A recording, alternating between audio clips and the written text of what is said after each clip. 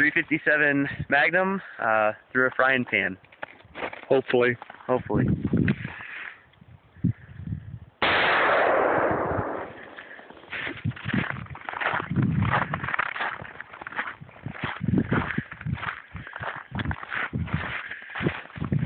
Wow.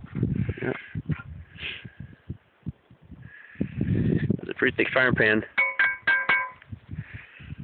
Solid steel.